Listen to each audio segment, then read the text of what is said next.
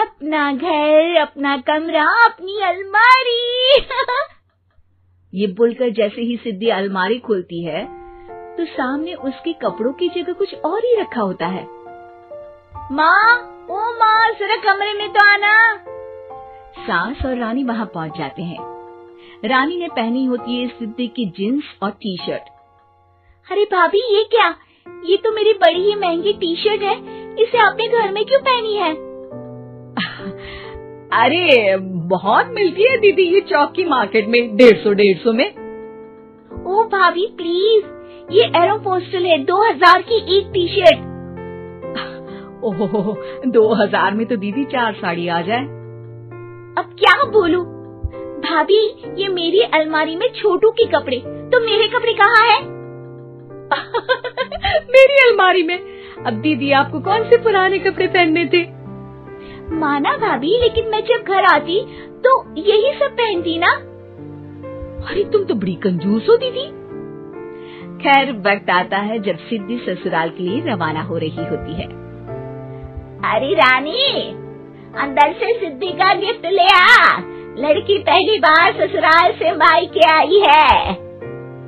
रानी अंदर जाती है और एक सिंपल सी साड़ी लेकर बाहर आ जाती है। ये लीजिए माँ जी। सास बेटी को गिफ्ट देकर ससुराल भेजती है। अगले दिन रानी एक सुंदर सी साड़ी पहनकर सामने आती है। अरे रानी ये तो वो साड़ी है जो मैंने सिद्धि को देने के लिए दी थी जब वो ससुराल ले जाती। लेकिन ये तूने कैसे पहन ली? अरे माँ जी ये साड़ी तो मुझे बहुत पहले से ही पसंद थी लेकिन चिंता ना करिए मैंने सिद्धि के लिए भी अच्छी सी साड़ी दी है हाँ। तभी सिद्धि का फ़ोन आता है। क्या माँ? कुछ अच्छा तो दिया होता ससुराल ले जाने के लिए। अरे, पहले दिखा दिया होता। यू चमकते हुए पैकेट में नौकरानी वाली साड़ी मत दिया करो माँ। अरे बेटे, वो तेरी भाभी ने ना गलती से उससे पैकेट बदल गया। हाँ मैं कल ही तेरे भाई के हाथ से तेरा वाला पैकेट भेज दूँगी।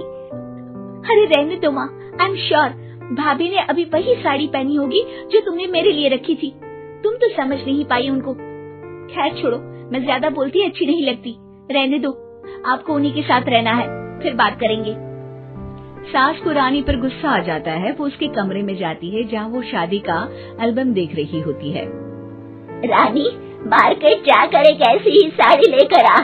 कल प्रतीक जाकर सिद्धि के घर दे आएगा। अरे क्यों माँ जी? कितनी साड़ी देनी है दीदी को? यहाँ कोई सेल लगी है क्या? अरे चुप कर। मेरे बेटी के हिस्से की साड़ी खुद पहन ली। अब ज़्यादा ज्ञान बांट रही है। एक दिन सिद्धि का फ़ोन आता है। माँ मेरी सास ने आप सबको खाने पर बुलाया है। सारे लोग सिद्धि के ससुराल पहुँचते हैं। खाना खाकर वो लोग निकल रहे होते हैं कि सिद्धि की सास सभी को गिफ्ट देती है। अरे बहन जी बेटी के घर का खाना खा लिया यही बहुत है। जो आप ऊपर से गिफ्ट भी दे रही है। अरे बहन जी, आप भी कहा इन बातों पर विश्वास कर रही हैं।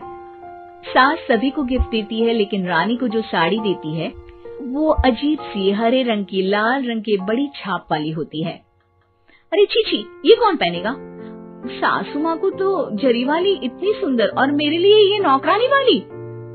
अरे भाभी, दरअसल मैं जब भी घर आती थी, आप वापसी में ऐसी ही साड़ी देती थी ना तो माँ ने सोचा कि आपको आपकी पसंद की ही साड़ी क्यों न दी जाए। बेचारी रानी, बोलती भी तो क्या? सिद्धि और सास रानी का चेहरा देखकर हंसने लगती है। तो रानी समझ जाती है कि अपने ही बिछाए जाल में वो फंस चुकी है।